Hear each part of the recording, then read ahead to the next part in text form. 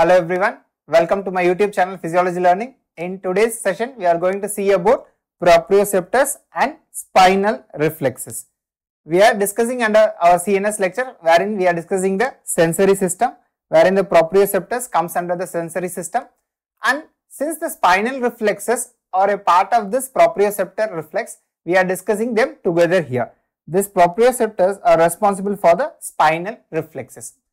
So coming to the learning objective of today, we are going to discuss about two important proprioceptors that is the muscle spindle and Golgi tendon organ. This muscle spindle and the Golgi tendon organ, they are responsible for some of the reflexes in the body. Muscle spindle is responsible for the stretch reflex and the withdrawal reflex, whereas the Golgi tendon organ is responsible for the inverse stretch reflex. So let's try to understand all of them today. So coming into the topic, so what is the location of a muscle spindle and the Golgi tendon organ? This GTO is nothing but a Golgi tendon organ. So whenever we talk about a muscle fiber, what happens is there is a group of muscle which is helping in the actual contraction of the muscle. And inside the muscle, there are some receptors which are located deep inside the muscle. They are called the proprioceptors. So the muscle fibers which are actual contracting the muscle is the extrafusal fibers which are also called as the muscle fibers. And deep inside the muscle fiber, there is one important proprioceptor which is just parallel to the extrafusal fiber which is also called as intrafusal fiber. This is our muscle spindle which we are talking about the proprioceptor. Then coming to the location of Golgi tendon organ.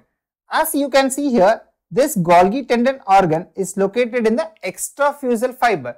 They are located in the tendinous ends of the extrafusal fiber.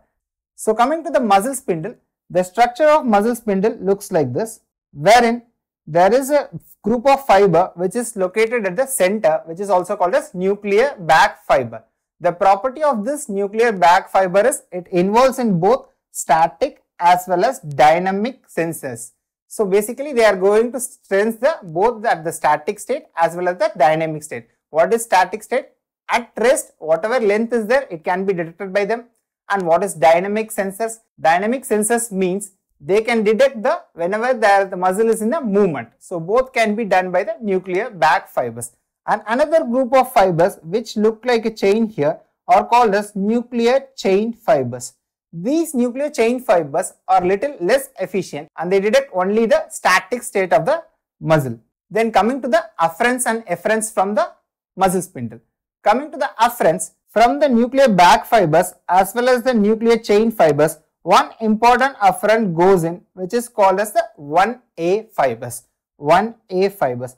This is also called as annulospiral ending because they look like as if they are spiraling the nuclear bag as well as the nuclear chain fibers. This is the most important afferent from a muscle spindle unit. Then coming to one more afferent which looks like a flower spray ending. As you can see here the flower spray ending. These flower spray ending also are called as type 2 fibers and they carry only from the nuclear chain fibers. And coming to the efferent of a muscle spindle which is A gamma fibers. This A gamma fibers is the only efferent for the muscle spindle. This A gamma fiber as you can see here they are innervating the ends of the muscle spindle. This A gamma fibers are also very very important for a maneuver called as Jendrassik maneuver which we will discuss in a while. So this is the structure of a muscle spindle. We have to remember the afferent which is 1A and the efferent that is the gamma fibers.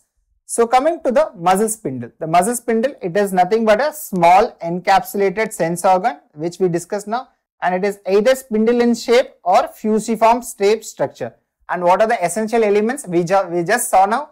One is the intrafusal muscle fiber is there and it has the myelinated afferent nerve fibers which is type 1A and type 2 fibers and the efferent nerve which supplies only the contractile region of the or the ends of the intrafusal fiber which is our gamma fibers. Before going into the discussion of uh, reflexes, we have to know one concept called as the reflex arc.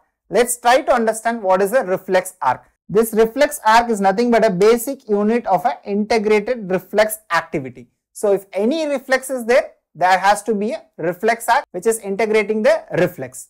So the, what are the components of a reflex arc? as you can see here, there should be a sense organ. For example, whenever you are doing all the reflexes or the stretch reflexes that we perform while examining the patients like the deep tendon reflexes, all of them are nothing but the component of reflex arc. Basically, what all the elements of reflex arc? They will have a sensory organ and there will be an afferent neuron, afferent neuron which is carrying the sensation from here to the spinal cord and there will be a synapse and there will be an efferent neuron and finally they will go to the neuromuscular junction and innervate the muscle which is an effector. So these are the components of a reflex arc and depending upon the number of synapses present we call them as monosynaptic or polysynaptic reflex. So what is the difference between a monosynaptic and a polysynaptic reflex? Mono as the term indicates it is one if there is only one synapse, it is we are going to call it monosynaptic reflex. The reflex arc with single synapse between the afferent and efferent neurons is called as the monosynaptic reflex.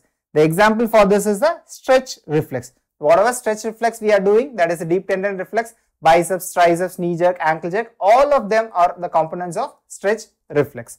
Whenever there are multiple interneurons or multiple synapses, these synapses can number from 2 even they can go up to 100. Whenever there are multiple interneurons, we refer to them as polysynaptic reflex. And classical example is withdrawal reflex. As you can see from these diagrams, in the first one, there is only one synapse between the afferent and efferent. Whereas in the second example, there is an interneuron, so there it is making two synapses. Whenever there are multiple synapses, they will be called as polysynaptic reflexes and whenever there is a single synapse, they will be called as monosynaptic reflex. Now coming to the most important concept that is the stretch reflex. What is stretch reflex? This stretch reflex is also called as myotactic reflex. Whenever a skeletal muscle with an intact nerve supply is stretched, it is going to contract the muscle. It is very simple as that. So what we are doing whenever we are doing a reflex, we are going to hit our knee hammer on the tendon and this is going to cause a stretch which reflexly contracts the muscle on which the stretch is produced. So this is what is all about stretch reflex. So what is the component of it? So whenever there is a stretch, they will be sensed by our intrafusal fibers. And this intrafusal fiber, what is the afferent? Yes, very right.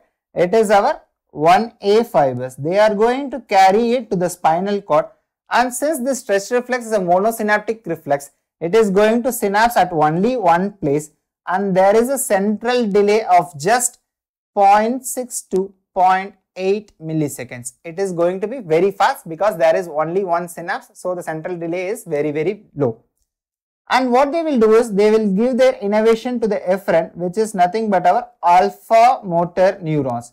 This alpha motor neurons, see the diagram carefully, it is going and innervating the which fibers intra or extrafusal? It is innervating the extrafusal fibers. So what is the function of the extrafusal fibers? They are going to contract if they are stimulated. So this alpha motor neuron is going to cause the contraction of the muscle. And as we have seen here, the stretch reflex is a form of monosynaptic reflex and the classical example is a knee jerk reflex. So coming to the next reflex which is the withdrawal reflex. This withdrawal reflex is a form of polysynaptic reflex. What do we understand by polysynaptic reflex? They are going to be multiple synapses. In stretch reflex, it is going and contracting the agonist muscle. For example, alpha motor neurons, they are going to innervate and cause the contraction of the agonist muscle of like the biceps if there is a contraction in the muscle. Whereas in polysynaptic reflex, what it is going to do is it will contract the agonist muscle as well as it will relax the antagonist muscle. In this case, for example, like suppose if you are touching something hot, what we have to do? We have to reflexly withdraw it. So, we have to protect ourselves from that hot environment.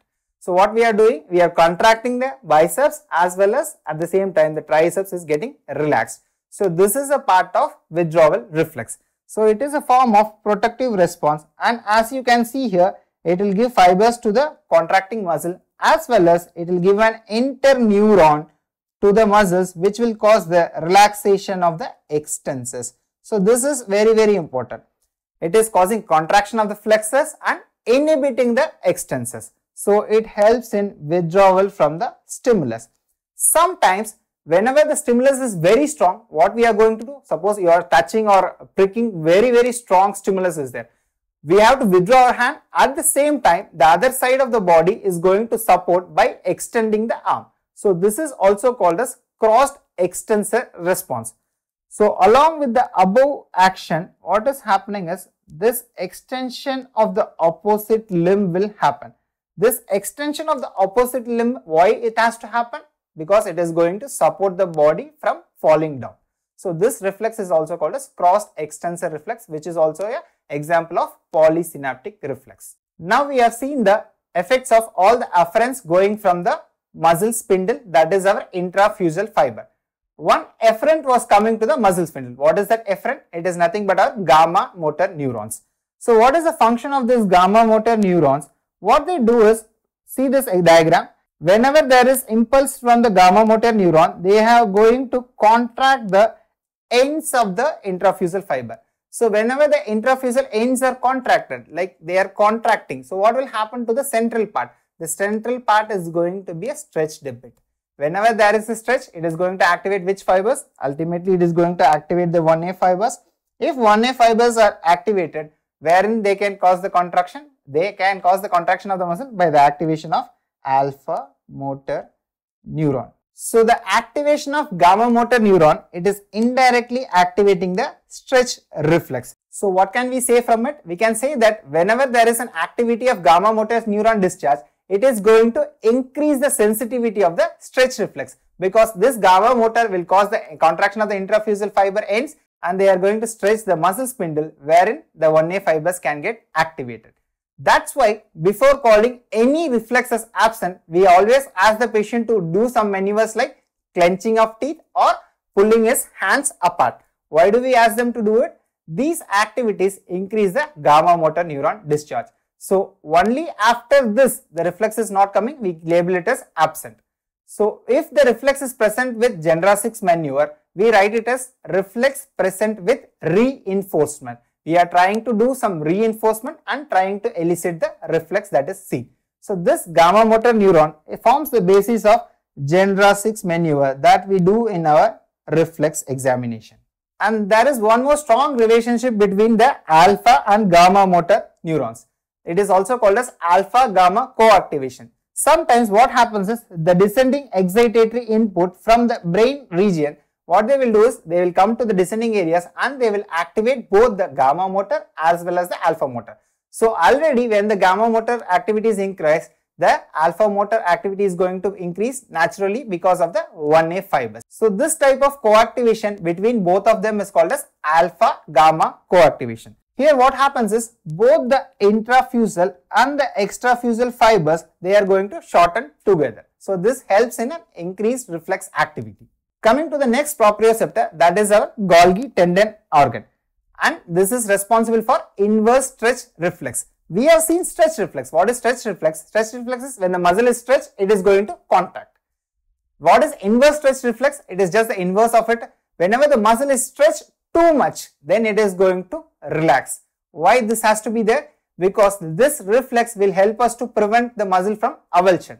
If there is too much stretch, I don't want the muscle to get avulsed and torn. So ultimately, this reflex prevents the muscle from getting avulsed from the bone. How does it happen? We have seen that the Golgi tendon organ are located in the tendinous ends of the extrafusal fibers. Please remember that the Golgi tendon organ is located in the extrafusal fiber.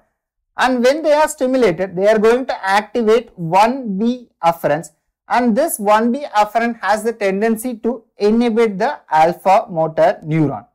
You might ask what is the reason why normally Golgi tendon organ is not activated by a normal stimulus. It needs a strong stimulus.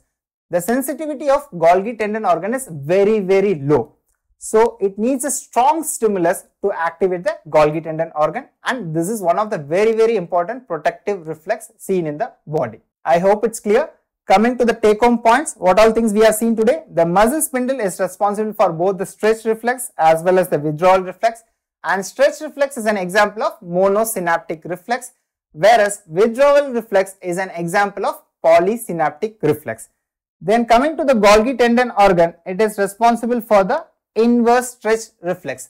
And which fibers are responsible for the Jendrassik maneuver? It is our gamma motor neuron discharge. This topic is very, very important. Make sure to revise it once or twice. Thank you for listening.